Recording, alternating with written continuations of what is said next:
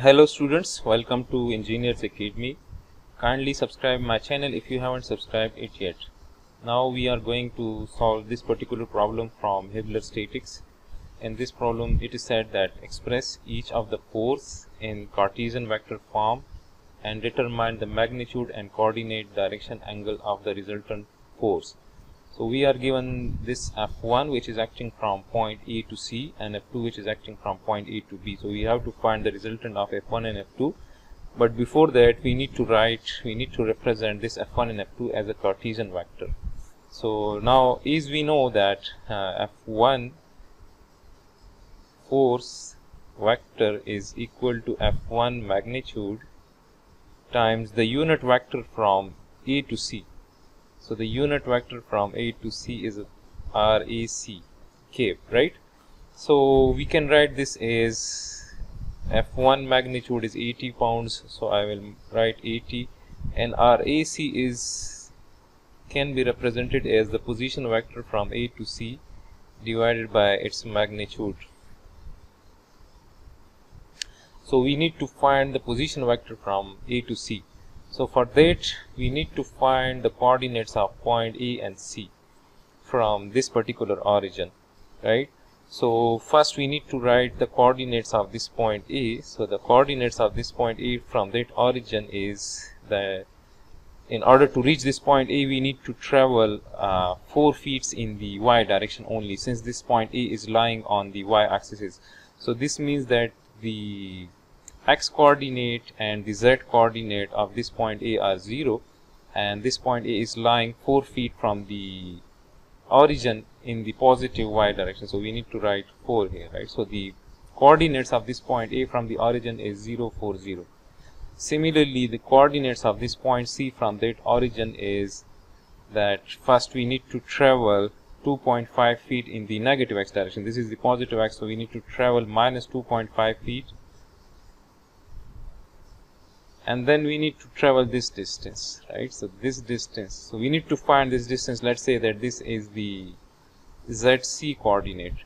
So we need to compare these two triangles this large triangle and this small triangle right? So if we apply the properties of similar triangles so we can write that uh, zc divided by 2.5 the ratio of these two sides will be equal to the ratio of these two sides right? So zc divided by 2.5 will be equal to 12 divided by 5 so if i multiply both sides by 2.5 so we will get that zc coordinate. And from this we will get that this is 6 feet. So this length is 6 feet right? So to reach that point C we need to travel 2.5 feet in the negative x direction and then we need to travel 6 feet in the positive z direction and since this point C is lying in the xz plane so there is no need to travel along the y-axis so this means that the y coordinate of this point C is 0 so this is in feet right? And this is also in feet. So now we can find this RAC vector. So this will be 80 multiplied by so to find this position vector we need to subtract the uh, coordinates of the tail from the head right? So we need to subtract the coordinates of point A from point C.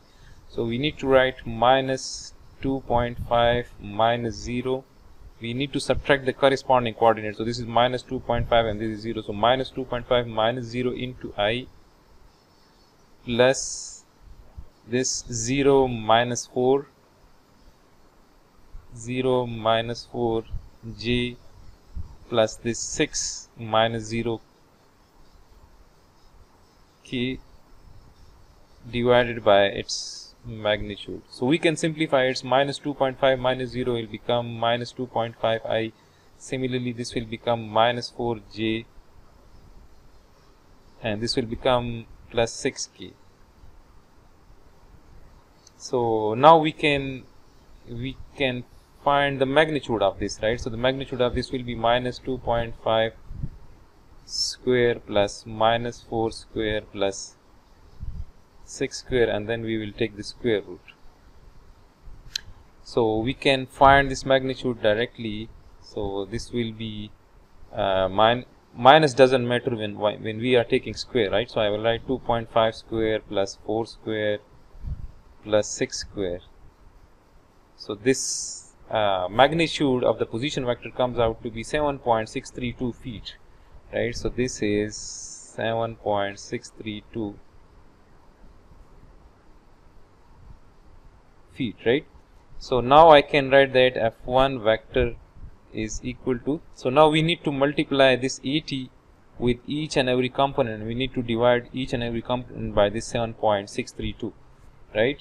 So I will do it directly in calculator right? So this is we can write it as 80 divided by 7 point I can take this as common right? So I can write this as outside. So we can write it like this as well. So this is 7.632 so we will be left with this right?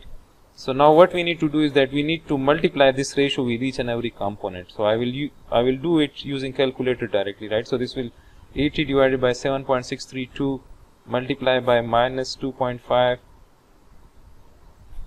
uh, multiply by minus 2.5 so this is the x component of f1 which is minus 26.20 minus 26.21 approximately. Then I will multiply this same ratio with minus 4 minus 4 so this gives me minus 41.93 j and then we need to multiply this with plus 6 so this is plus 6 so this is 62.89 so this is plus 62.89 k.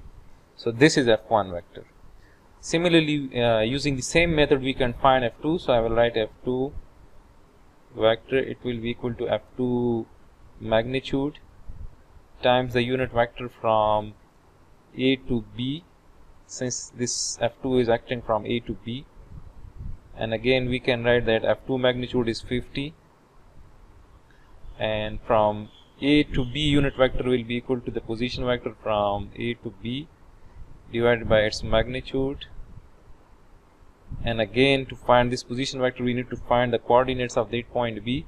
So the coordinates of this point B from that origin is that first we need to travel uh, 2 feet in the positive x direction. This is the positive x so I have to write plus 2 and then we need to travel minus 6 feet in the negative z direction right? So I will write minus 6 and since this point B is in the xy plane so this means that uh, there is no need to travel along the y-axis so this means that the y coordinate of this point B is 0 so these are the coordinates of that point B so again we can use that same method. Now we need to subtract the corresponding coordinates uh, of point A from point B. So and the magnitude is 50 so 50 so this will be 2 minus 0 so 2 minus 0 is 2 so this is 2i and this is 0 minus 4 so minus 4 j. And this is minus 6 minus 0 so this is minus 6 k and then we will find the magnitude of this position vector right? So the magnitude will be 2 square plus 4 square plus 6 square under the square root. So the magnitude is uh, 2 square plus 4 square plus 6 square. So this is 7.483 so this is 7.483 or we can write it outside. So this is 7.483 so now we can write that f2 vector.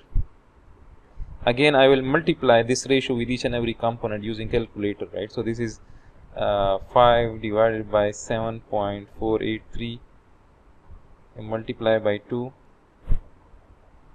this is 50 this is uh, 50 so 13.36 i and then we need to multiply minus 4 minus 26.73 and then multiply by minus 6 so minus 40.09 so this is the vector representation of that f2 so this is the cartesian vector form of f1 this is cartesian vector form of f2 now we need to find the resultant of f1 and f2 so the resultant of f1 and f2 will be equal to f1 plus f2 vector. And we need to add up the corresponding components of f1 and f2 so that will give us the resultant. So I will again do it directly in calculator. So this component plus this component will give us the x component of the resultant so minus 26.21 plus 13.36 this is minus 12.85 i minus 41.93 minus 41.93 plus minus uh, 26.73 so minus 26.73 so minus 68.66 j and uh, 62.89 minus 40.09 so this is 22.8 k plus 22.8 k. So this is the Cartesian vector form of the resultant now we are requ uh, required to determine the magnitude of the resultant. So the magnitude of the resultant is equal to so we again we need to take squares of all of these and then we need to take the square root right? So this will be 12 point 85 square plus 68.66 square and plus 22.8 square and then we need to take the square root so 12.85 square plus 68.66 square plus 22.8 square so the magnitude of the resultant is 73.48 approximately. So FR magnitude is equal to 73.48 pounds. Now we are asked to find the coordinate direction angles of the resultant force. So as we know that uh, FR in terms of the coordinate direction angles can be written as fr cos of alpha i plus fr cos of beta j plus fr cos of gamma k and alpha beta and gamma are the angles of the resultant with the positive x y and z axes right? So and fr is the magnitude. So again if we compare this vector and this vector so from this we can see that fr cos of alpha is equal to this thing right? So we can write that fr and fr magnitude is known which is 73.48 so I can write that 73.48 cos of alpha equals to minus 12.85 and from this we can say that cos of alpha is equal to minus 12.85 divided by that magnitude so this is cos of alpha so if we take cos inverse then we will be able to find the angle of the resultant with the positive x-axis. So this means that alpha equals to cos inverse of the ratio of this this component divided by its magnitude. Similarly we can write beta is this value we can write it as cos inverse minus 68.66 divided by magnitude which is 73.48 and similarly we can find gamma. So gamma will be again this 22 cos inverse 22.8 divided by that magnitude which is 73.48 so cos inverse minus 12.85 divided by 73.48 so this gives us cos inverse gives us alpha angle is 100 approximately. This is 100.07 so let's say that this is 100 degrees. Similarly this is minus 68.66 so this is 159.13 159.13 degrees and similarly the gamma angle is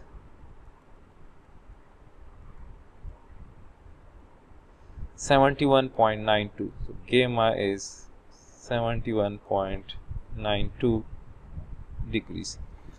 So this is the solution of this particular problem. The resultant magnitude is 73.48 and it is making 100 degree with the positive x-axis 159.13 degrees with the positive y-axis and 71.92 degrees with the positive z-axis.